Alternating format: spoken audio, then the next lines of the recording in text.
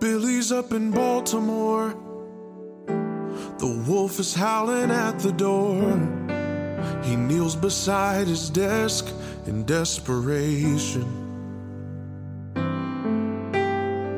While down the block, a hotel bed, bloodshot eyes and a weary head.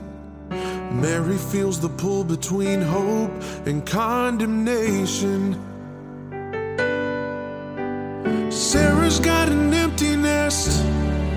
The doctor called about David's test. And Emma's got two kids, two jobs, and too little time to rest. A hundred different people at a hundred different altars. A hundred different lives are torn apart.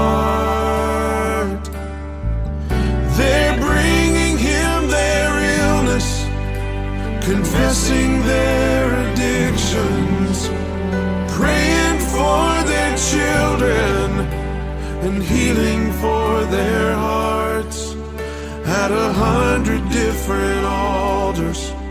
One loving God of mercy meets them all. Bonnie's down in Birmingham. She still wears the but she betrayed the man she gave forever. And Peter calls the pulpit home, but deep inside he feels alone. He carries the doubt, the guilt, and all the pressure. A hundred different people at a hundred different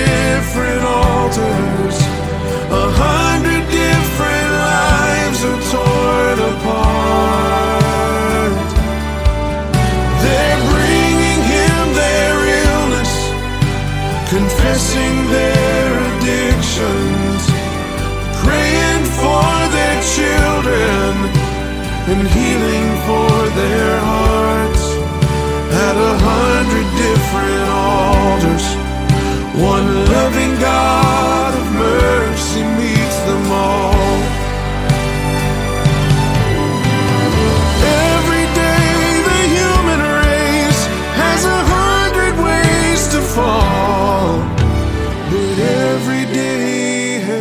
grace. Hears each and every call. As they're bringing him their illness, confessing their addictions, praying for their children, and healing for their hearts.